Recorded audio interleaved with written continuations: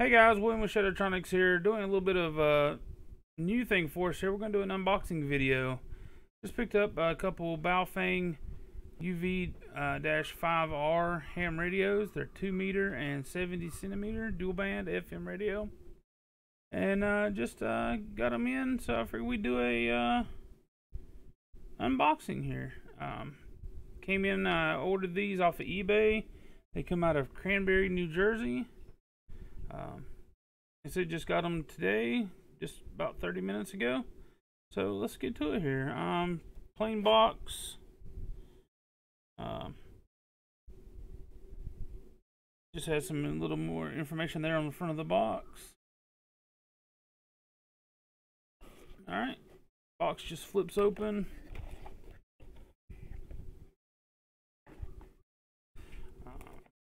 User manual, which I've heard is really, really hard to understand because it is Chinglish, Chinese English. Uh, there's tons of review, uh, tons of websites and information that I'll put in the, I'll link to in the description to a better user manual, etc. All right, got a plastic insert tray here. So uh, did go with the blue radio. They have them in several different colors. They have them in uh, blue, black, red, yellow. Uh, went with the blue just because I like to be a little different, and I like blue. Blue's favorite color. All right, you get the radio, standard battery. Um, one thing I do plan on getting with mine is they make a, K, a battery pack that you can put regular double A's in.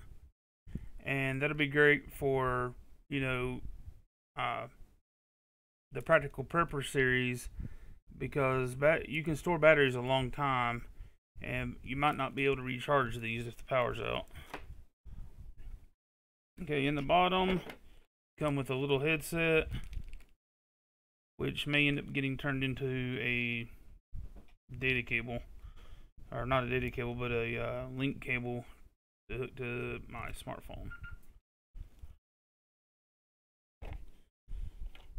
All right, uh, power adapter for the base uh, stand charger, which I really like.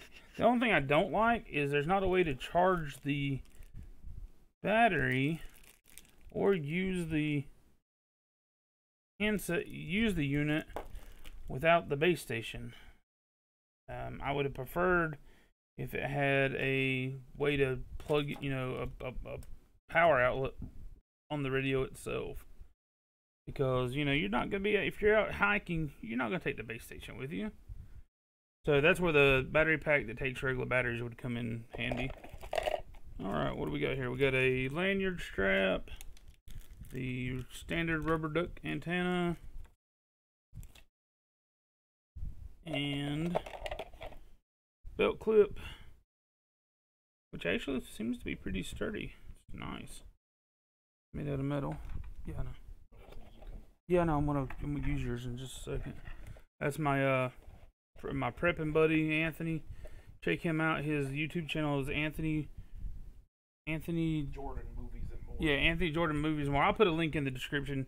He does a lot of cool movie reviews and uh, action figures, posters, stuff like that and prepping because like I said we're uh, we're going to do this as a partnership. Anyway, there's the uh, the dock charger. Since it is a lithium-ion battery, I actually have an idea to uh, for the electronics channel is building a mobile charger for this thing, something that's not this huge. But anyway, um, here's the unit put together. I'll just use Anthony's for a second. Uh, I think that's all is in the box. Let's see. Yep. That's everything that's in the box. Here's the unit put together. As you can see.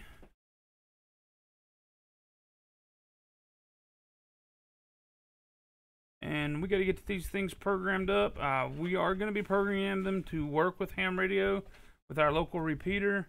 But as we're still working on getting our license, we will not be transmitting. They'll be locked out um, in the software to just allow receive only. Um, thanks to everybody over at the Ham Radio Crash Course. I want to give Hoshnasi a big shout out. Uh, you can check him out. His link, his channel will be in the description. Uh, he's he does a ham radio crash course series and is live every Friday evening at 10 p.m. Eastern.